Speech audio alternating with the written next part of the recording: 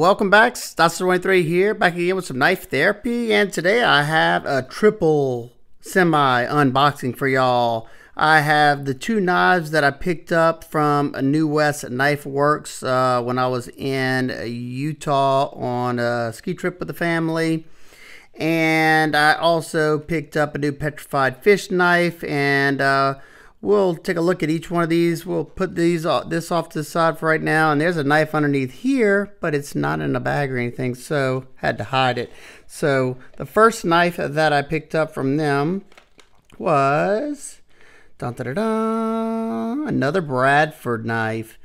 This one right here, I had plenty of people suggest this one to me when, when I was uh, when I was trying to find the perfect um, uh, EDC fixed blade and after handling this one at uh, New West Knife Works, I fell in love with it. So the same um, horizontal scout carry sheath that they they give with all their knives, they also have the little magnet retention in there.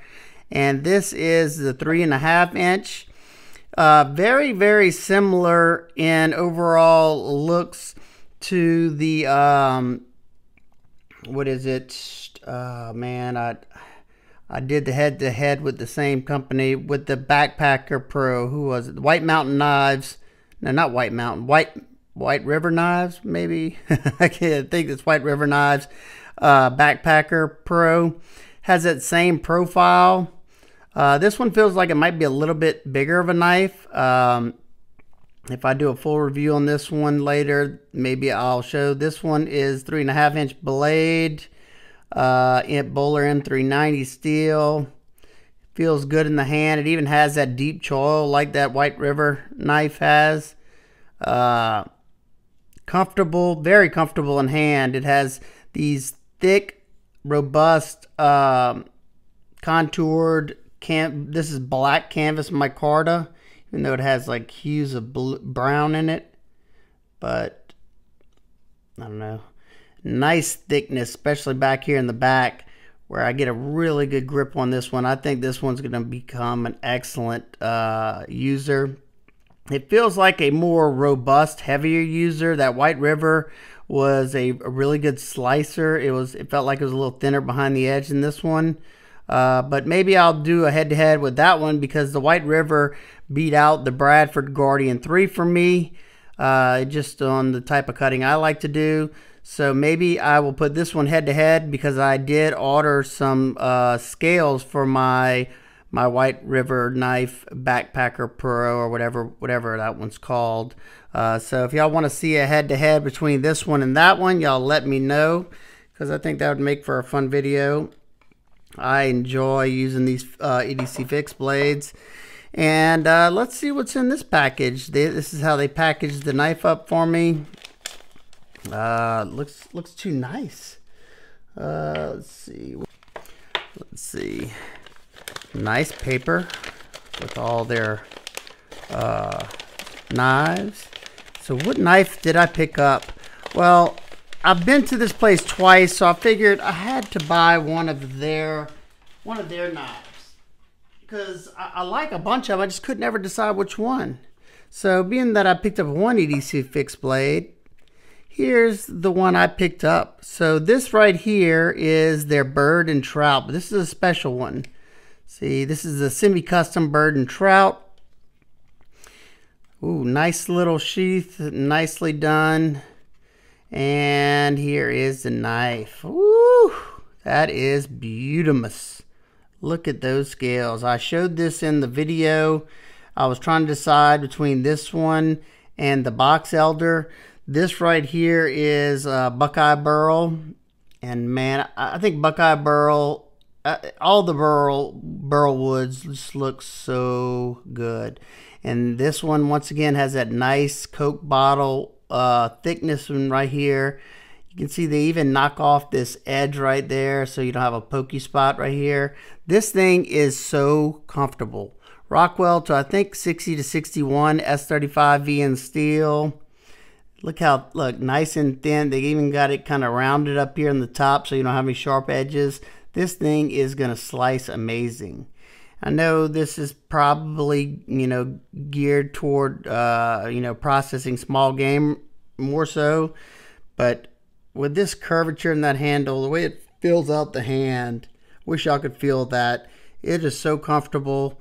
I think this is going to make an outstanding, outstanding EDC fixed blade. Uh, if y'all want to see a full review on this one, let me know because I, I, I, probably will regardless. I just think it, it deserves a full dedicated review, especially if you're into EDC fixed blades.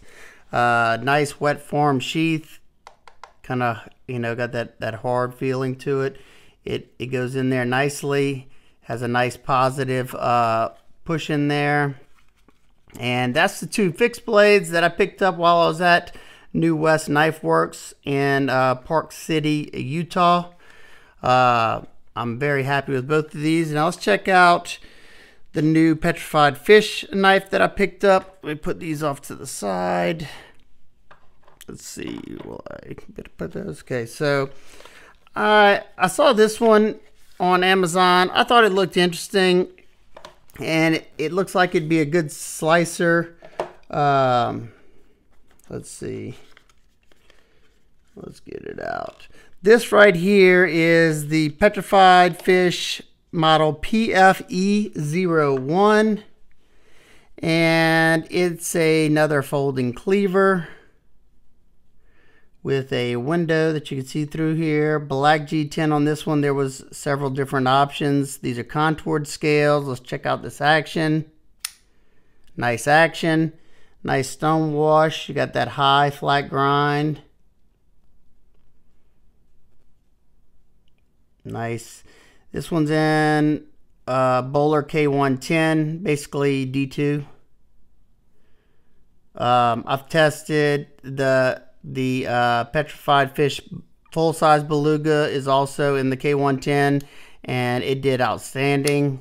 Action on this knife is pretty darn good. It's not even broken yet. Can you thumb? Yep, you can open it up with your thumb. Let's see. Forward finger choil is a little small for a usable forward finger choil. I could use it by like holding back like that if I wanted to. But as far as like really getting in there, which I think would have been great, it's kind of hard to get my finger in there. It's just not not that large. But as a sharpening tool, it should work fine. It should work really well. You should have a lot of sharpening life in there. It feels like it be it's ground decently thin. Let's see. Yeah, you can kind of see right here. It's it's ground pretty pretty well.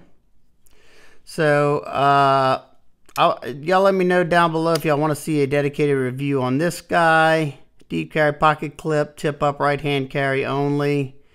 Um, that that arc right there is really what sold me on this one. I knew it would be pretty darn comfortable. Now, these holes in there kind of feel funny in the hand. I don't know how that's going to translate in actual use, but when I'm squeezing down on there, it is a little uncomfortable just because I have all these little things, you know, kind of pushing into my hand. And uh, I don't know. If y'all want to see a full review, we'll have to see how it fares in the actual testing. I like the stone wash. It's a nice uniform stone wash. There's their logo. Nice. Uh, it's like smooth G10, but it's not like slick or anything. Still get a little bit of traction. Access to the lock bar. It's pretty good. Um, they have this texture on the lock bar.